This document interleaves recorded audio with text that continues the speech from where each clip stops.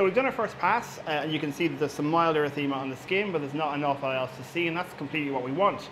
For the second pass, I'm going to use a 590 cutoff filter. So this is a really similar uh, wavelength to most of the vascular lasers. So the original pulse dye laser will be around a 585 nanometer laser. And you can see as opposed to a red light, this is a yellow light. So the main chromophore here is absolutely 100% going to be the hemoglobin.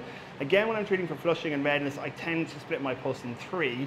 Um, and what we're going to do in the, in the next shot is actually we're going to slow it down. At least my cameraman's going to slow it down. So hopefully you'll be able to see those three individual pulses firing. But the patient will only experience it as a single shot.